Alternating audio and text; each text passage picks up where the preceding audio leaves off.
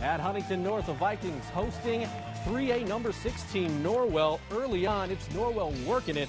Austin Hayden has had himself one heck of a season, knocks down the jumper there, but Huntington North not to be denied. How about Hunter Hollowell? He's been great from behind the arc this season, nails it there. Huntington North up one and feeling good. Coming the other way, nice passing from Pearson Harnish to Graham Denny. Norwell in the lead, but simply too much Huntington North. Connor Platt with the one from distance as Huntington North a nice win over Norwell 50-46. Vikings win it.